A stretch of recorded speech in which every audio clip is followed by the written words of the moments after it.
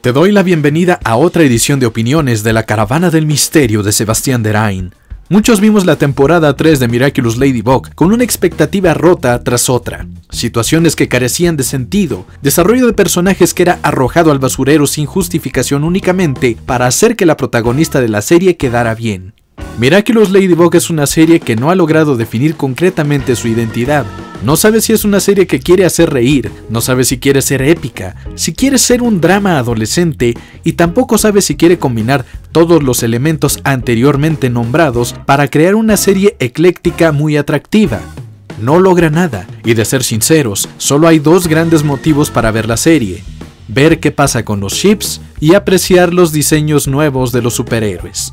En un grado menor, hay un interés por los misterios que oculta la Legión de Cuidadores de los Miraculous, que hasta donde se sabe, solo fueron colocados allí para repartir más prodigios a otra serie de la clase de Marinette y así tener nuevos diseños de superhéroes. Pero la trama no va a ningún lado. Ha quedado claro que realmente nada se resolverá excepto por el poder del guion, donde inexplicablemente el villano se equivoca en un error demasiado simple que tira todos sus planes a la basura. Esa fue la historia de Hawkmoth, diagonal papillón, diagonal lepidóptero.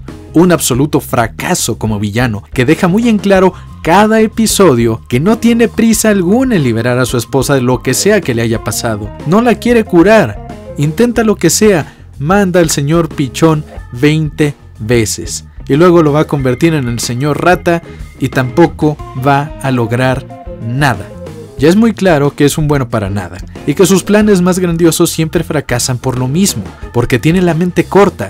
Una chica promedio lo ha vencido una y otra vez, al grado que es cansino. Chat Noir a veces ha desaparecido, no sirve para nada. Ladybug lo resuelve sola.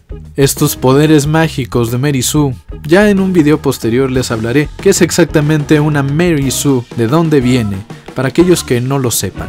Por ahora, concretémonos con que es un tipo de personaje al cual se le atribuyen todas las cualidades y casi ningún defecto.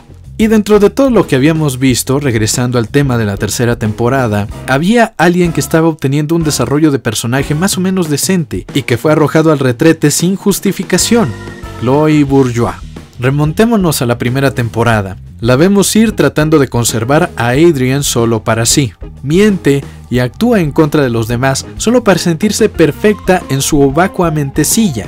Esto trae consecuencias. Adrian la deja a un lado por su actitud. También su mejor amiga se harta de ella, Sabrina, y empieza a rechazarla. Vuelve con ella, pero se nota que la actitud de Chloe es un fastidio. Entonces ella ve que el reemplazo de su figura materna, la señorita Bustier, también se ve afectada por culpa suya ya en la segunda temporada. Lentamente la vemos crecer, siendo algo muy importante que llegue a sus manos el prodigio de la abeja, el cual la transforma en Queen Bee. Y esto es relevante porque siente que es digna de un honor tan grande, y esto hace que comience a tomar mejores decisiones y sea un poco más gentil es necesario mencionar que Chloe idolatraba muchísimo a Ladybug, llegando a vestirse de ella y jugar junto con Sabrina a los superhéroes. Al pasar de las temporadas, pudimos descubrir un poco sobre su soledad, el dolor de la partida de su madre, el cariño incondicional de su mayordomo.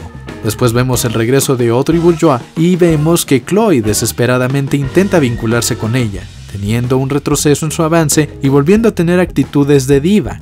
Este desespero por consolidar un lazo con su madre la lleva a revelar ante el mundo que es Queen Bee, lo que pone en peligro a su familia, su identidad secreta y posteriormente lleva a Ladybug a anunciarle que ya no podrá seguir siendo Queen Bee debido a su indiscreción. Hasta el momento, Chloe había sido la única persona en rechazar una Kuma por lealtad a Ladybug, una fuerza de voluntad que ni siquiera Chat había tenido. Esto parece indicar que cosas grandes venían en el futuro de Chloe y podría llegar a ser una heroína por su cuenta propia. Muchos fans advirtieron ciertas referencias, la batiseñal con forma de abeja, el mayordomo leal, la millonaria que buscaba ser una heroína. Tarde o temprano Chloe debería convertirse en una especie de Batman, combatiendo a Kuma sin la necesidad de un prodigio. Entonces llegó el final de la tercera temporada y todas las esperanzas se fueron al traste. Lo peor de todo es que ni siquiera vimos que fuera una derrota épica. No vimos que Ladybug estuviera a punto de perderlo todo. Chloe simplemente volvió a perder porque era una tonta niña mimada tal como si viésemos a la Chloe de la primera temporada. Y esto me dejó un mal sabor de boca, no solo a mí, sino a una buena porción del fandom que estaba esperando un poco más de este personaje y únicamente la vieron fracasar de la manera más patética en uno de los detalles más importantes del uso de los Miraculous, el nexo con los Kwamis la palabrita que activa el poder acompañada del nombre de cada uno. No podemos negar que Miraculous Ladybug es una de esas series donde la protagonista únicamente puede triunfar cuando los escritores deciden hacer que los villanos pierdan de un momento a otro cerca de 60 puntos de coeficiente intelectual. Es una serie donde resalta más la estupidez del mundo que el éxito del héroe, que su sagacidad. Porque hemos de ser sinceros, un ejemplo ahí cercano, ¿qué pasó con el capítulo donde supuestamente Laila hace que expulsen a Marinette? No tiene ningún sentido. Si a todos les preocupaba tanto Laila, ¿por qué nadie fue por un médico para que la revisaran? ¿Cómo saber que no le pasó algo peor de lo que ella decía? Y si estaba fracturada, ¿dónde están las radiografías? ¿Cómo es que una venda por encima de la ropa es más que suficiente junto con su palabra? Sin moretones, sin nada. Es una de esas series donde uno termina preguntándose, de verdad, reitero, ¿quién fue el imbécil que escribió esta tontería? Mi esperanza en esta serie pende de un hilo muy gastado. Es una serie que no desarrolla bien a sus personajes, no tanto por cómo avanzan las temporadas, sino porque en los episodios que intenta ser emocionantes le da la espalda al desarrollo previo completamente.